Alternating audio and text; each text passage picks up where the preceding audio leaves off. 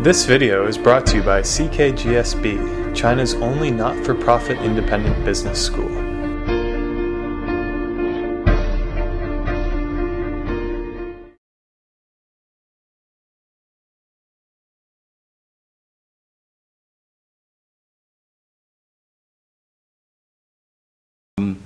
we see a lot of opportunity in this uh, new market and new being better eco efficient and at the same time mostly coming from the emerging market.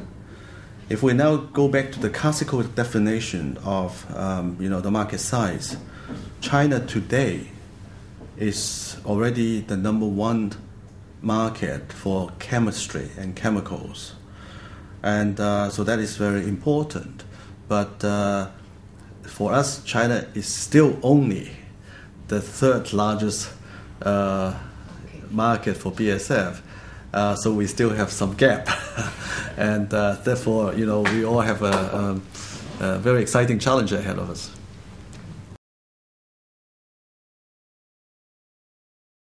Yeah, the strategy sees that the the market is the world, and you know, in today's globalization, that you know, uh, what is more important? China may be manufacturing a lot of things, ultimately shipped to whatever. So we have to see how can we sustain the growth of the world. Now, I think in the last decade or two, many people start addressing different GDP growth of different countries. But at the end of the day, it is the growth of the world. And it is the sustainability of whether the world can sustain such growth. Now, and if we now say generally the world growth economically, GDP wise, about you know one to two percent, let's say, for the world. Now, how can we address that? And where are these growth? Now, having said that, yes, we come back to where the reality is. China is, and also together with many of the other emerging markets, will continue to be the key area where um, products are being made. So on that basis, it is very important to address the sustainability and the economic growth of emerging market. And where we believe this will be a challenge as well as an opportunity, if we can bring in the right technology, the right business model to address how can we ensure that these manufacturing growth is still done under a way where it, it, it helps to sustain the development of the world. And then one of the, the most uh, discussed topics, of course, is, uh, is, is, carbon emission, which you know, many people now conclude is, a, is a, a, key contributor for global warming. So if we don't address that, then we're not addressing sustainability of the world. Now, and if we have to address uh, emissions of carbon, then we would have to look into where are the industry that and, and, and segments that have uh, uh, been producing most uh, carbon dioxide right? And, and then we have to then go into and what can what can we do? What can technology do? What can our lifestyle be changing? You know, shall we be driving a smaller car than a large car? Shall we be driving a lighter car than a heavier car? And what kind of uh, you know expectation from the consumer market? And all of these kind of things uh, uh will, will have to be both a um, an industry uh, approach as well as the society's understanding if all of us as a consumer exercise our consumer power of choosing the most sustainable product, then I think uh, it's probably uh, much more um, conducive for the world to come together and say, okay, you know, we we all are key influencer in the driving this uh, sustainable world.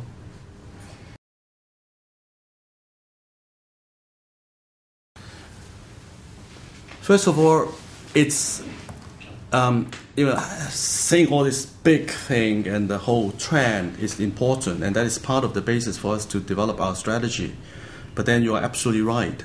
I mean, how can we make it become? A, how can we make it a reality?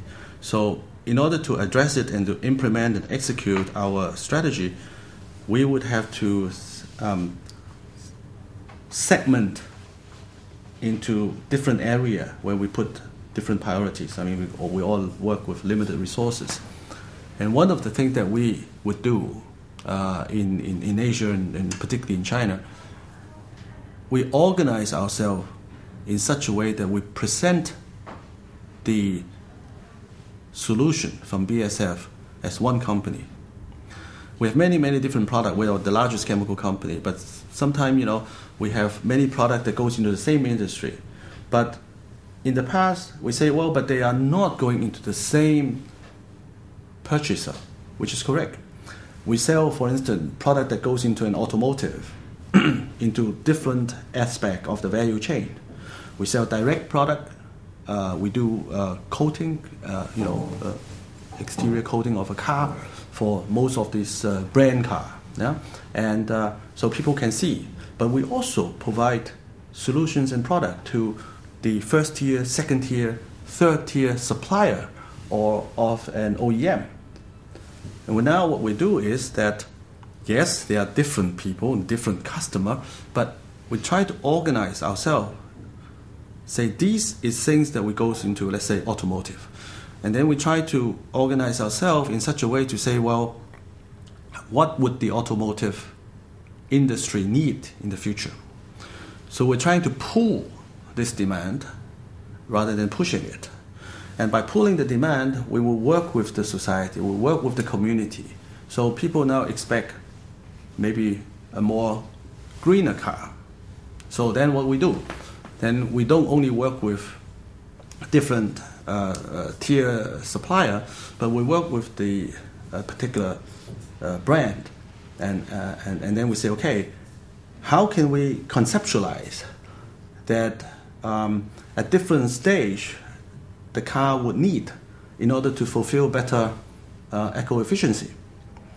And as an example, we work with Daimler uh, uh, on this smart car. I mean, you all know this little smart car, you know, small smart car. Smart car is already a concept of you know smaller car and uh, more environmental, the more less less uh, more fuel efficient and so on, and more convenient in the in the in the city. Now, in addition to that, we worked with Daimler and last end of last year in the Frankfurt uh, car show that this was uh, you know kind of presented, and uh, and this uh, this this smart smart car is called Smart forvision. The, the, the model is Smart forvision, yeah? and it have different different aspect of new innovation, and it have to be you know really mind reaching uh, for the people who actually design this car, and then demand for what the material have to be, and then put it all together, right? So it's not only on a one-on-one basis that we are now addressing. They are very important. Each of these people are our customers, very important. But over above that, we try to organize uh, these people together. So we try to be part of the automotive industry and just start think, talking to them, applying our chemistry knowledge to say, well, how can we help our customer to be more successful? So we start sitting down and think about what kind of sustainability solution. Now going back to the smart forvision, as an example, there are uh, solar cell at the roof which absorb you know solar energy and it helps us to manage the electricity requirement within the car you know the lighting system and all this you know aircon and whatsoever requirement so it's you don't need to use the fuel and the battery to manage your lighting. So you can actually do that. And we do, on top of many other, uh, you know, uh, already existing features of the smart car. So we also have things which, um, you know, it's a, it's a particular film that we put on the exterior of the window. So what happened is you would have uh, all this ultra red uh, uh, wavelength and UV that goes through. You, you, you need the light from outside, but you don't need the heat, right? So it reflects the heat wavelength and it only takes the light, right? So by putting it in, people sitting in the car is more comfortable. You don't need so much aircon in a very hot uh, city, right? So that's also energy saving. These are some of the things we're doing uh, with existing technology. Then people say, what about the future of automotive? Of course, we are also working very intensely with a lot of people that designed what is the future of technolo- uh, technology. People now talks about uh, battery cars, you know, for instance. So uh, we have also last year put together uh, lithium battery type kind of business from bits and pieces, put it together as a strategic business unit. And uh, recently we have uh, acquired a, uh, a, lithium battery uh, company globally, including also manufacturing in China. And we also wanted to, when we acquire a company today, we wanted to apply our chemistry knowledge to whatever is the end industry and combine it. And we, there's so much in chemistry in the battery, right? Both the cathode and the anode and the membrane and uh, whatever the things, the ion that go exchange within the battery, many, many chemistry where we can apply it. So what we like to do is using the top-notch technology, knowledge, know-how, research direction of BASF applying to an industry where we believe is a growth industry. And battery, for instance, is going to be a, a vital part for electric car in the future. So we are also addressing electric car. But meanwhile, while electricity, electric car is still not yet as popular, we already provide many other solutions. For instance, now we talk about you know cars that have uh, emission, and uh, and you know sometimes we kind of say, wow, you know all this PM 2.5 or whatever we talk about nowadays on the newspaper. We applied the technology that BASF has uh, which is the leading in the world for car emission catalyst. This catalyst primarily reduce to a large extent all these um, particles, uh, PM stuff, uh, and then it also um, make the unburned um, un, uh, fuel some of the emissions of uh, nitrous oxide, sulfur oxide, and whatnot to reduce it into something which is less harmful and also water. So we bring it up, and this is standard where we normally refer to as uh, Euro 3, Euro 4, and Euro 5. And in China, we also call it this uh, 国三国四国五 this type of standard, and we are working actively. And so now, uh, at least we can say that we're happy to see that China is now addressing very seriously, and particularly in large city, you know, pushing uh, emission standard uh, from one level to the other, uh, and it goes into um, uh, private cars, into into into trucks, into buses, and in the future, uh, we are also very much working, and we would like to see China also putting more emphasis on the implementations of the motorcycle emission. We can claim, and we, we feel happy that we're working very closely with, the, uh, with a country like China.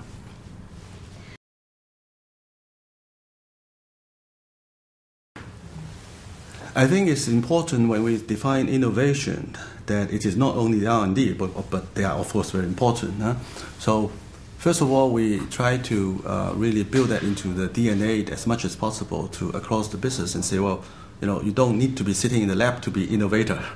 Now, it could be, you know, how you address a particular business. But nevertheless, now, this is not an excuse. Now, we, we try to do that because it's a lot of relaying back into the market, into you know uh, the company, and that's also innovation. But nevertheless, addressing directly on the R&D area, uh, we are making a really a bold effort. Uh, we made a decision two years ago, and uh, last year we started building. Uh, we are going to uh, invest um, 5.5 million euro, so it's almost 55 million renminbi, almost, or 50 million renminbi, into uh, transforming one of our sites currently in Pudong into a Asia Pacific Innovation Center or campus. It is um, composing um, laboratories, of course. Uh, it is now the building is now almost complete. We are already planning for scientists. Uh, we expect that uh, when this building is ready, we will have uh, over the period of next year that we will have at least 450 scientists. I'm not talking about you know just workers, scientists working in this uh, R&D center, and uh, but these are not just scientists where we collect from the street or something. These are very important uh, BASF existing scientists, but at the same time even two years ago, as anticipating for this project, we have recruited quite a number, you know, uh, of local PhD research candidates um, to send them to uh, work in, in Germany in the research area. So these people, and when I travel to uh, our headquarters, I also meet them, and they are also feeling very, very excited that they are now working together with our scientists in, the, in Germany. So when this campus is ready, they will come back, and they will be a core, uh, you know, part of our, our, our scientists. And of course, uh, we will also bring in other people, you know, not only from Germany but also from around the world. Uh, we will also try to uh, recruit some uh, scientists from across Asia Pacific. We want this to be a base where it is very internationalized because research, yes, it's very important. We work in China and in the emerging market for the emerging market, but a lot of the know-how, a lot of the, uh, research, you cannot just lock yourself in a room and isolated and you are in research.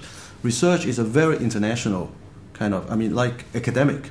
You know, you cannot just learn by your own library. You know, you have to work with many other people, collaboration and so on. So our research center will be uh, a network for the whole BASF. This is not just a China matter. This is a whole part of BASF where we do the research. So uh, once again, we're very, very excited that this will come. And meanwhile, we're already talking about phase two. So phase two of the uh, the campus and the R&D center. Thereby, then we will be investing more, and there will be more people working on.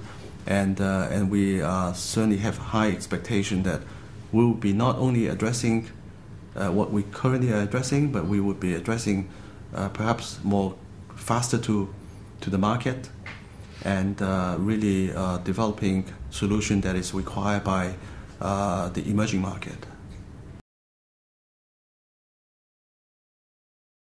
I, I, I think this is a, very good question.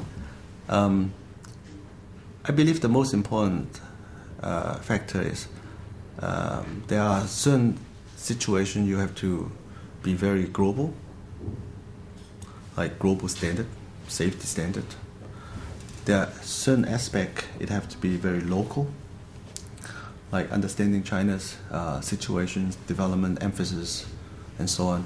And we have to make it all together.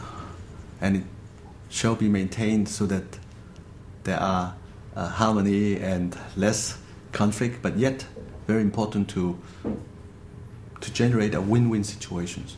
A win-win for the company, the win-win for obviously development of China, but very important, win-win for the people. Because everything we do, we create a footprint. And we want to make sure that nobody, nobody will be disadvantaged. There should be always um, a common value where we can uh, all, let's say, contribute to. And I think to generate this common valued, and then it become a shared valued. I think this is basically what we uh, would like to strive for.